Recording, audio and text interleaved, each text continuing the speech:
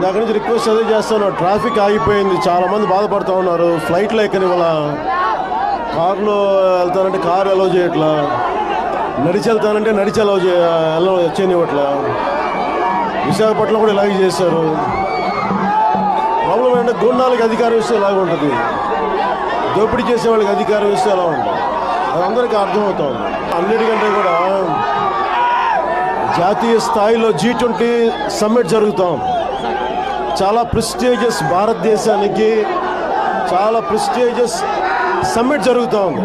ఇరవై దేశాల ప్రతినిధులు వస్తున్నప్పుడు ఇలాంటి సమయంలో ఇవి చేయడం ఇది ప్రధానమంత్రి గారి స్ఫూర్తికి ఒక మచ్చ.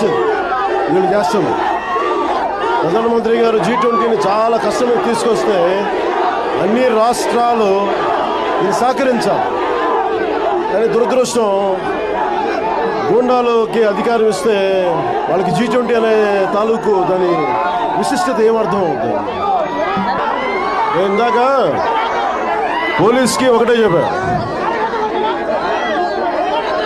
బెయిల్ మీద ఈ ముఖ్యమంత్రి బెయిల్ మీద బయట ఉన్నాడు ఎంతసేపు జైలు గురించి ఆలోచిస్తాడు తప్ప అందరినీ జైలుకి పంపించాలి అరెస్ట్ చేయాలి. ఎందుకంటే అతను క్రిమినల్ విదేశాలకు వెళ్ళాలనుకున్నా కోర్టు పర్మిషన్ తీసుకోవాలి. అలాంటి చేతుల అధికారం ఉంది. ఇది దురదృష్టం.